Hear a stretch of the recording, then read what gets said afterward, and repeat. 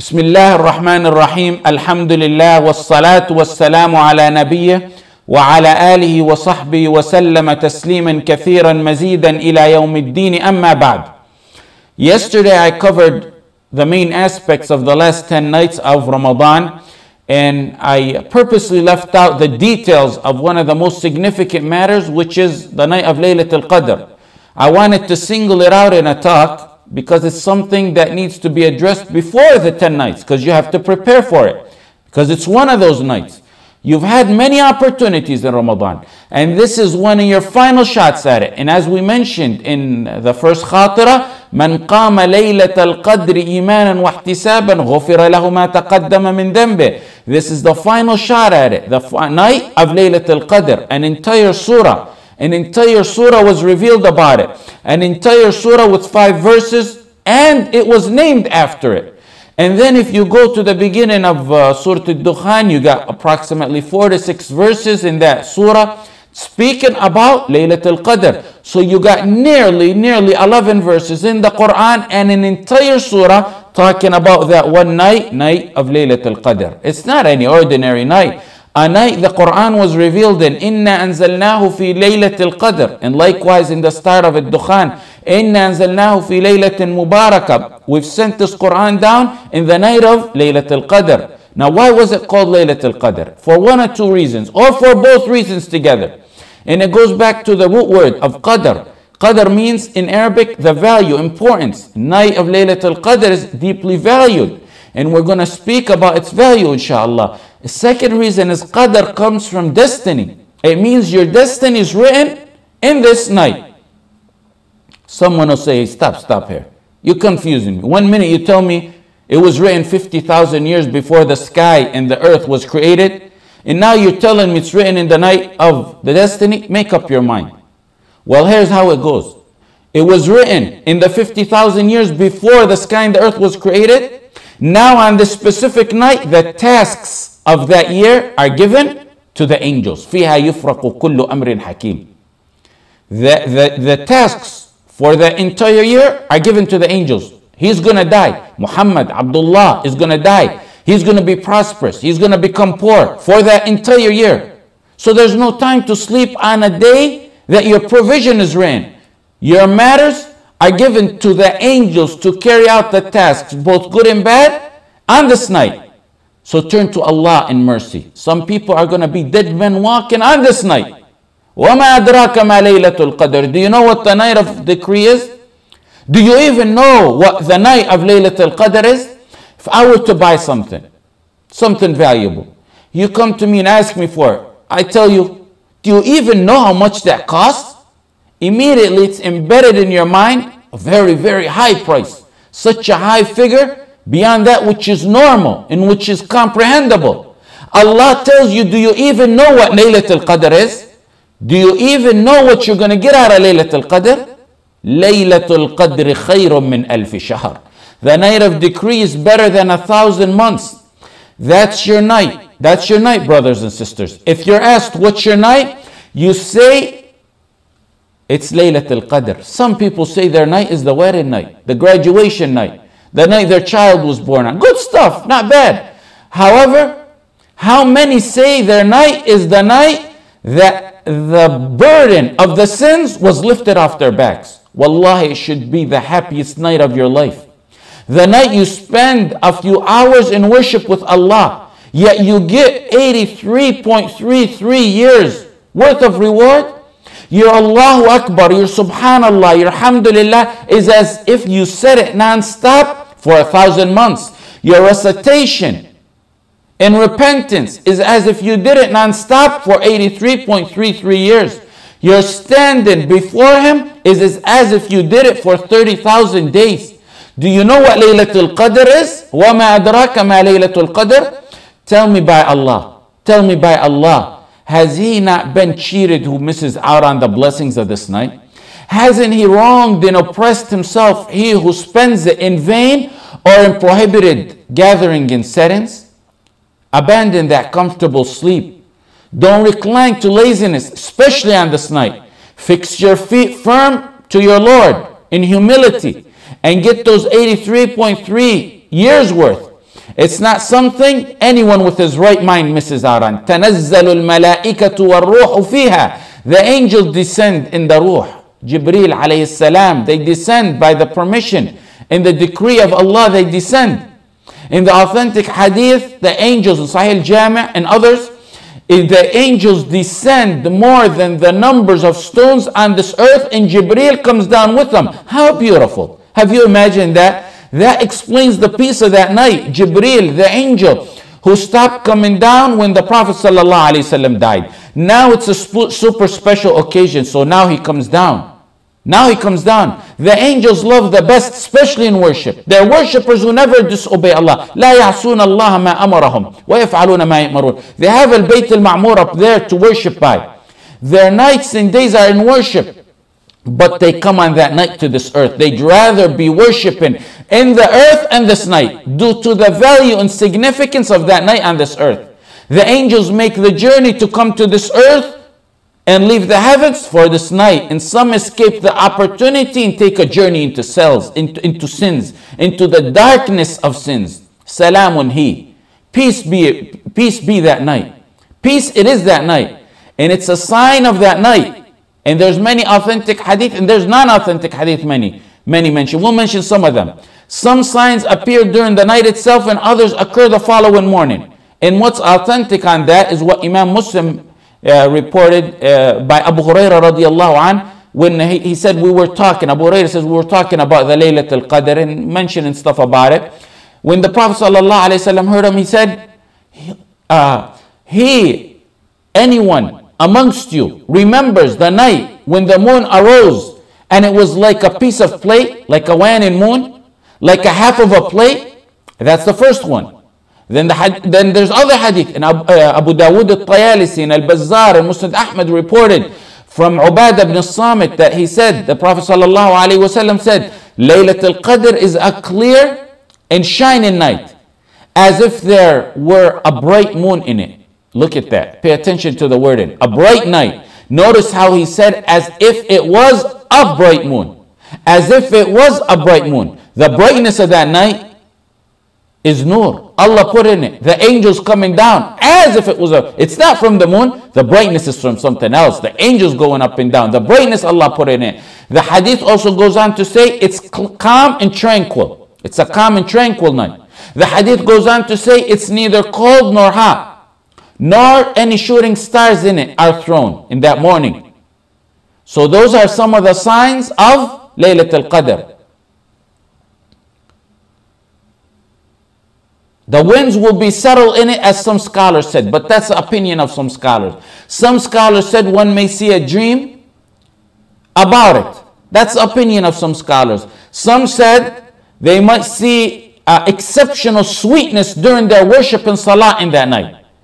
And that's the opinion of some legitimate scholars. Some say the dogs don't park in it, but that's not correct at all. There's no proof on that, and that's false.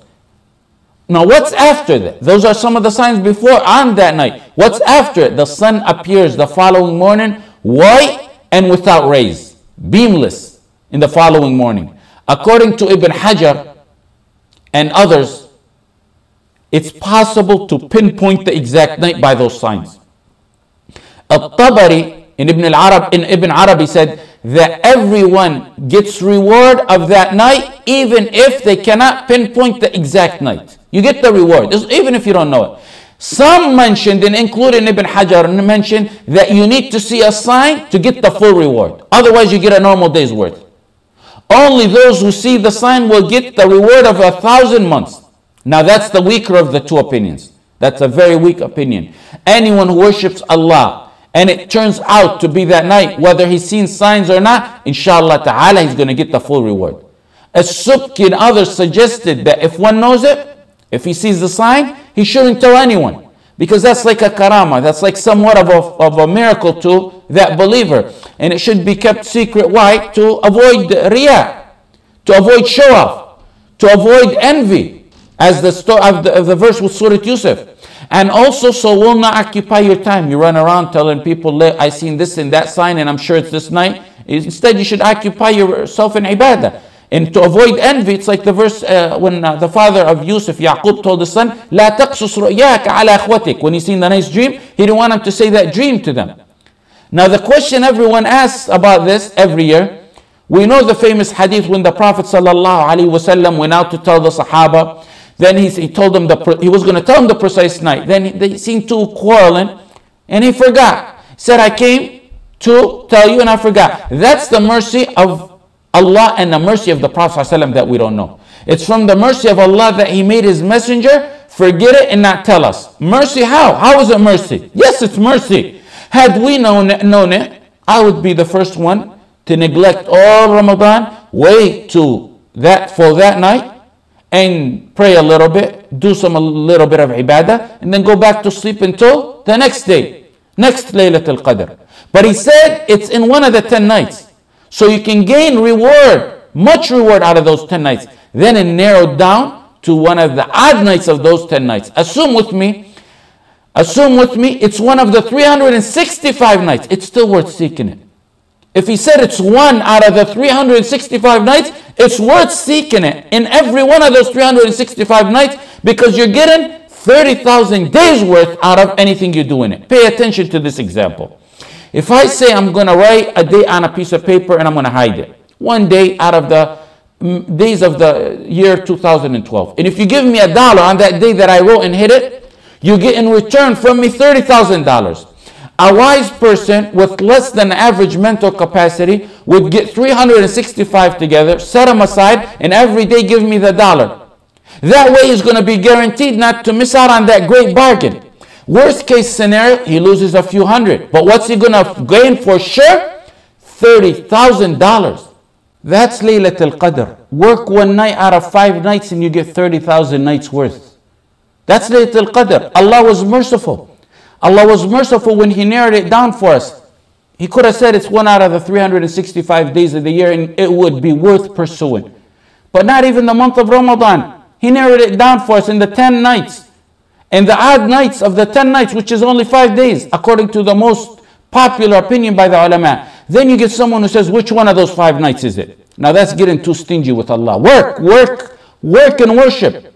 Those five nights, 10 nights, the month of Ramadan. It may be the determining night that Laylatul Qadr, what you do, something you did on it, that pleases you when you stand naked, uncircumcised before the scale on the judgment day, the day of terror, the day you're going to stand before. Maybe what pleases you when you stand before Allah, the creator of the universe, the creator of the heaven and hell. It may be one thing you did on that night that pleases you in that stand. يا أيها الناس اتقوا ربكم الذي خلقكم إن يا أيها الناس اتقوا ربكم إن زلزلة الساعة شيء عظيم. Mankind, fear your Lord, be dutiful to Him. The earthquake of the hour of the judgment day is a terrible thing. The day of the judgment day is a terrible thing. It may be that night that makes you among the most successful during that night. يوم ترونها تذهل كل مرضعة عما أرضعت وتضع كل ذات حمل حملها وترى الناس سكارى وما هم بسكارى. You see a nursing mother forget about her nursling. And every pregnant woman will drop her load.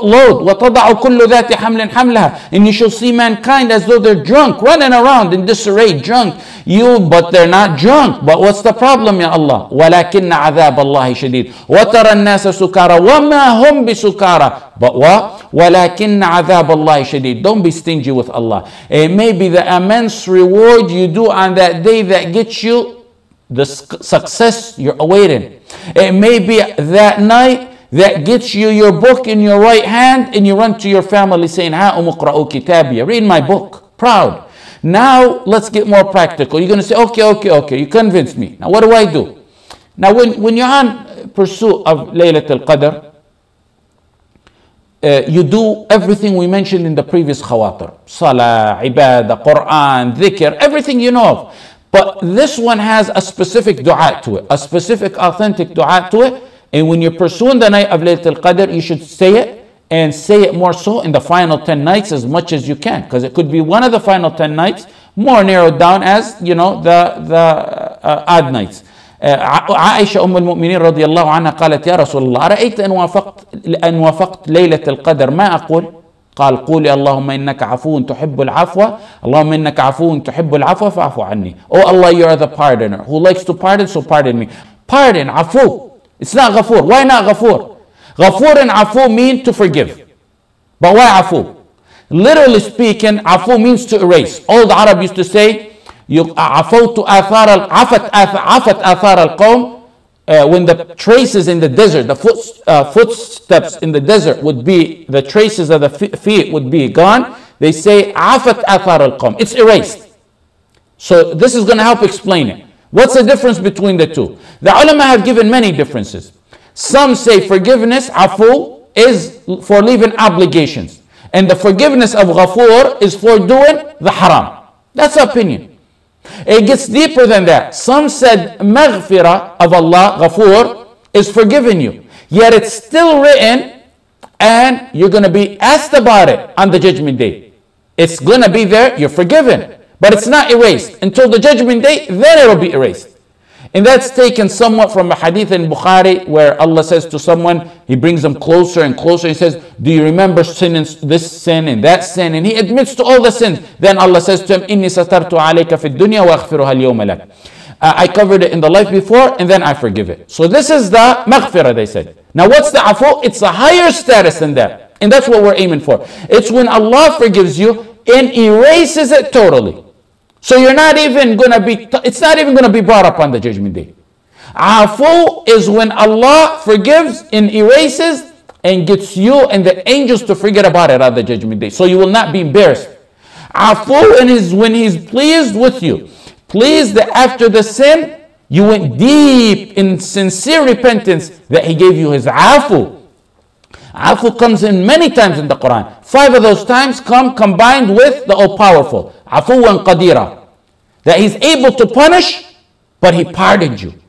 Afu and ghafur come combined in the Quran. It's possibly to show that you can choose maghfirah and Allah will forgive you. But you can go a step further and try harder and get the afu where it will be fully erased. Whatever you way look at, whatever way you look at it, seems that afu is an exaggerated form of ghufran. And more rewards to it, a higher status, a higher honor of forgiveness. From my personal humble observation when I read the Quran, I notice that the real, real super major sins, Allah, when He forgives or tells people to forgive, He mentions afu. For example, when the people of Musa worshipped the calf, وإذ وعدنا موسى أربعين ليلة ثم اتخذتم العجل بعد وأنتم ظالمون When Allah forgives them says ثم عفونا عنكم He uses the word afu, not ghafur. Even when Allah talks about those who mocked the reciters of the Quran in the Battle of Tabuk, and uh, they, He says, if uh, we, we've forgiven some of them, he doesn't say غفرنا, he says لا تعتذروا قد, قد كفرتم بعد إيمانكم إن نعفو عن طائفة نعفو not نغفر because it's a super major sin mocking Islamic rituals or matters or believers then the uh, fleeing from the battle a super major sin when Allah mentions that he says إن الذين تولوا منكم يوم التقى الجمعان إنما استزلهم الشيطان ببعض ما كسبوا ولقد عفا عفا he uses the word عفا mean instead of ghafur because these are super, super major sins. So we are trying to achieve the higher status of the afu subhanahu wa ta'ala. Allahumma innaka afuwan tuhibbul afwa fa'fu anna وصلى الله على سيدنا محمد وعلى آله وصحبه وسلم وجزاكم الله خيرا